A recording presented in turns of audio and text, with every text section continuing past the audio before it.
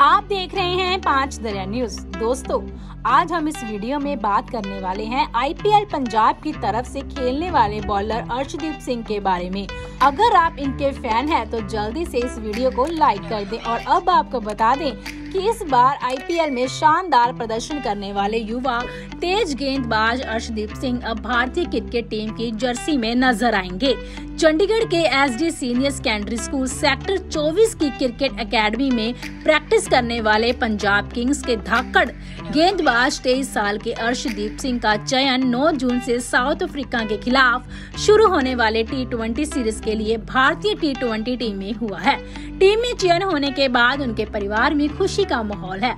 अर्शदीप का परिवार खरड़ में रहता है। बेटे का इंडियन टीम में सिलेक्शन होने पर अर्शदीप की माँ बलजीत कौर ने बताया कि इंडियन टीम में चुने जाने की जानकारी अर्शदीप सिंह ने उन्हें फ़ोन पर दी थी। अर्शदीप के पिता दर्शन सिंह ने बेटे के चुने जाने पर वही अपनी खुशी भी बयान की। आईपीएल 2022 में अर्शदीप सिंह पंजाब किंग्स की तरफ़ से गेंदबाजी करते हुए उन्होंने कई बल्लेबाजों को अपना शिकार बनाया है।